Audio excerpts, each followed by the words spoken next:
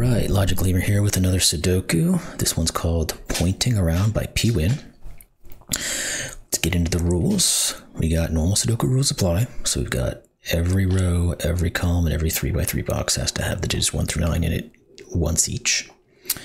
Arrow. Digits on an arrow must sum to the digits placed in the arrow circle. So this digit here in the arrow circle has to be the product of these two. Same with that one there. Now that one, that one. Quadruples digits in a circle in the intersection of four cells must be placed at least once in the cells touching that circle. Digits that appear twice in circles must be placed twice in the cells touching the circle. So what that says is like this this one right here. We have a one, two, three, and a four on this circle, and there's four digits touching that circle. So these four digits would have to be one, two, three, and four. Another corollary is we've got a six six circle here. So in these four cells, there has to be two sixes, and those are the rules. So let's uh, let's get into it. So let's start with these.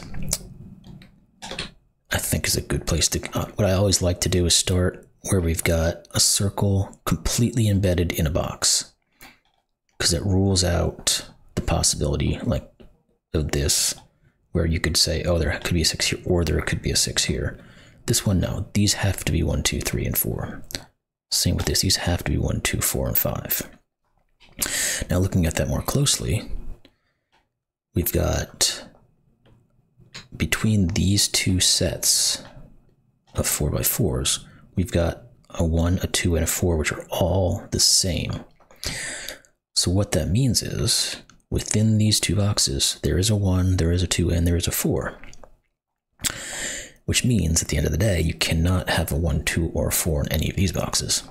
Let's do the example on that. Let's pull these out. Let's say this was the 1, this was the 2, this was the 3, this was the 4. Something like that. It doesn't matter what the order is. Now, in this one, where does the 1 go? Can't go there, so it has to go in one of these two.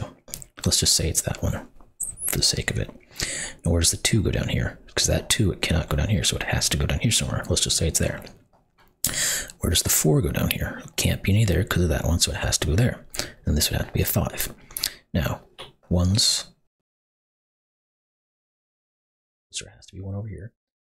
2's here, rule out twos and all those. so There has to be a two here. Fours can't be here, so that has to rules out fours and all those. So this has to be one, two, four. So let's erase all that. We know this has to be one, two, and four. now we can take this two, two clue. And what a two, a two-digit quadruple that spans between two boxes. What that tells you is that to the digit in that circle has to be on a diagonal from each other. Because you have to be able to put two of the same digit in these four cells, but you can only put one here and one here. So if this is the two, this couldn't be two, that couldn't be two, so this would have to be two, and vice versa. And now that we know that there's a one, two, four over here, the only place a two can go in this side of this two, two quadruple is right there. So that is the two. And then now this can't be a 2, that can't be 2. We still need to put a 2 in here, so that has to be 2. So what that does is tell me there's a 2 up there, because there has to be a 2 in one of these four. And what else does it tell me? Well, here's another thing. 6 is in here. It's not great, but it tells me there's no 6s in any of those, so there has to be 6 up here. Um, twos and twos. There's no two down here, so it has to be up here. Same with the four, because of the four in here and the four in here. These are not great things to deal with. Now with this one, we got a one two four and a one two four, same as we had over here. There cannot be a one two four in any of those. There has to be a one two four here. We know there's a four in one of these two. So this is not a four. We know there's a four in one of these two because of this four. Let's one there, one there. So this one has to be a four. Those go away. Now that we know that's a four, we know both of these are fours. That can't be four, that can't be four, that can't be four, that can't be four. Now that four is there, that gives me the one and the four. so, oh, here we go. Got a six, six. There has to be two sixes in. They can't be here, they can't both be there, so they have to be that way. which rules out those sixes, which puts a six up there. Now that I know the six is there, these have to be seven, eight, and nine. Now this cannot be 7, because 1 plus 7, the lowest these is 8. This can't be 9, because 1 plus 9 equals 10. This is either 7, 8, this is either 8 or 9.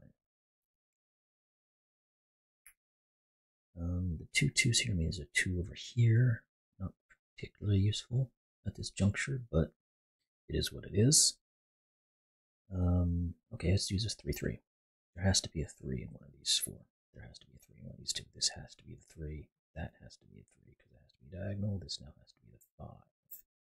There has to be a 5 over here because this rules out the 5 in those two.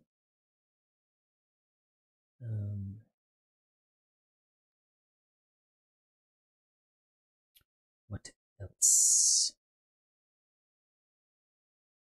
Well, it's a small little thing, but we know there's a 5 up here because there can't be a 5 in here. None of these, so these are one of these 5. Mm. What else? Well, I guess we know these are 3 and 5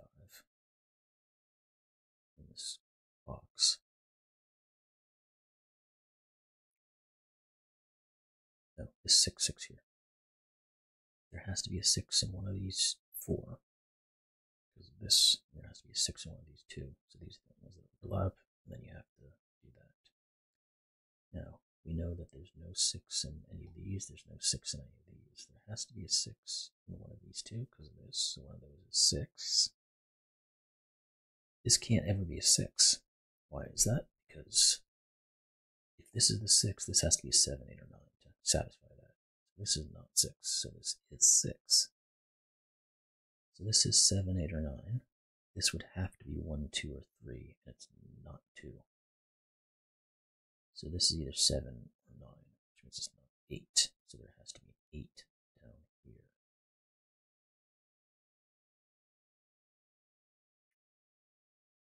Where else we got stuff? I can technically do this, but I don't really want to. 6 is sort of helpful because I can put a 6 here. Which means there's no 6, no 6, no 6, no 6 because of all of these. Which means that's a 6. Oh, well, here, these two gives me a 6 down here, which gives me this as the 6. Which means I can put these as 1, 2. That's not a 2 anymore, so that is. These are 1, 4, and 5. We know that's not 4 or 5, so that's 1. These are not. These are a 4 5 pair. Which gives me 7, 8, and 9 in here. Oh, that's 5 and 4. That's a 9. That would be the easy way to do it. This has to be 7 or 8 in this box. Um, I don't really want to fill these in yet. There's not quite enough information there to be really useful. Um, these fours, maybe. I can't have that, so one of these, no, I know that for that anyway. Five, this is a four, five pair. That's how I got it. Okay, four, five. Five here and a four here, so this can't be four or five, so that has to be two. And then four and the five have to saddle up there, which means that two gives me a one and a two. Um, this isn't very good. Need three, seven, eight, and nine. Not helpful. Um,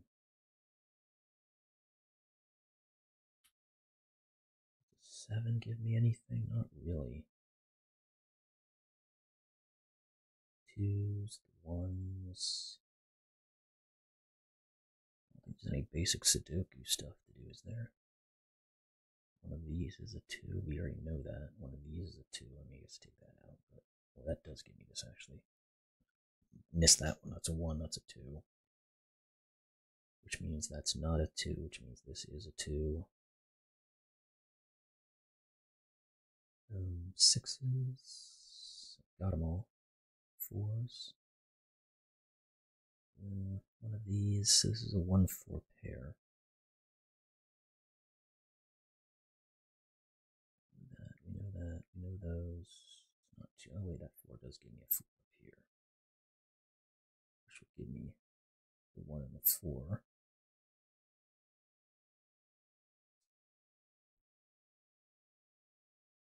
Seven, eight, nine on this row are not very helpful.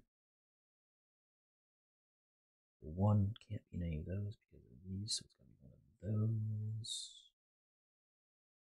Three doesn't do much, the four doesn't do much, the five doesn't, six does, they're done, seven, eight, nine, nothing. Okay. Let's just write these in for now. They have to be one, three, and four. This can't be one.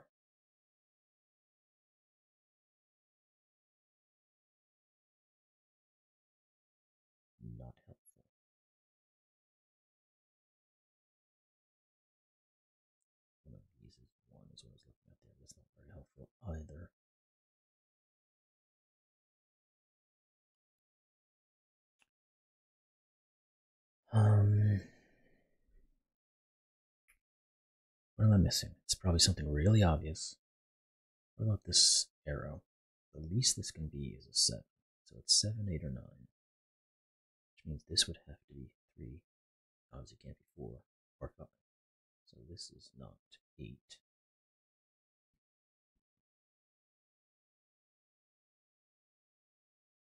Any other arrows that are helpful right now? Not really. Already kind of solved. And missing something very obvious. I can sense it.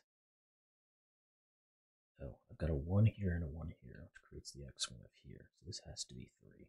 This has to be 9. That's not 3. Excuse me. So I've got 3 here and 3 here, which means none of these are 3, which means that's 3.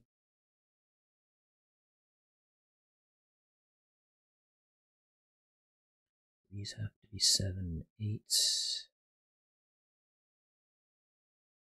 have to be 1 and 5. Also, I do have a 1 X-Wing. So one of those is 1. That's not terribly helpful. I've got a 5 X-Wing, so these are not 5s, which means that is. That's helpful.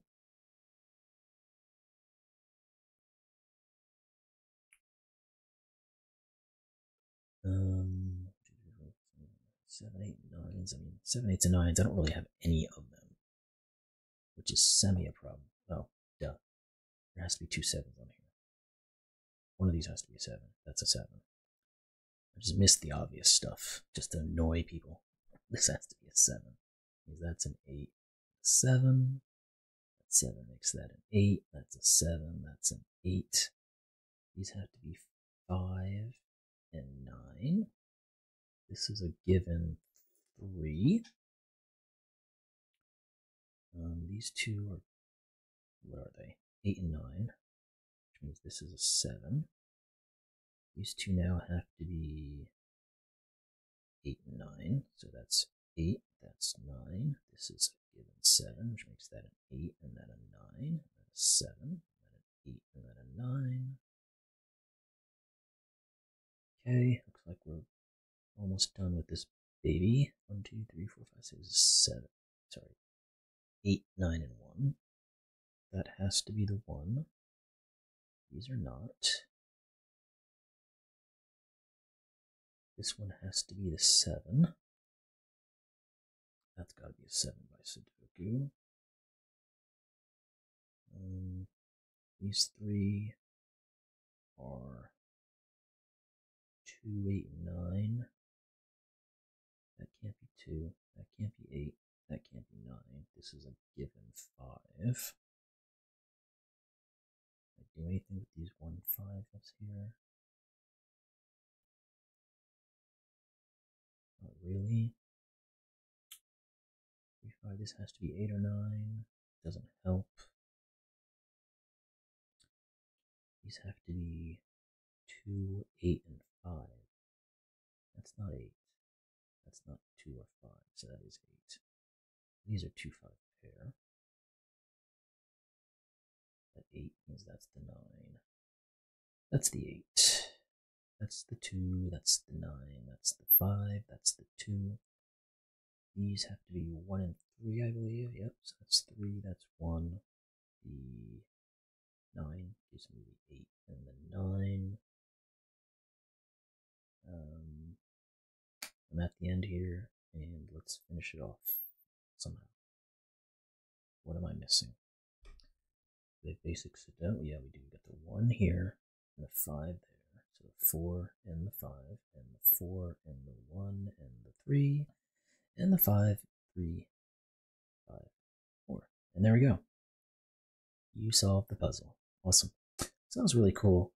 Um, Sudoku. A good combination of quadruples and arrows. It was really enjoyable. I hope you all enjoyed that, and uh, hope to see you on the next one.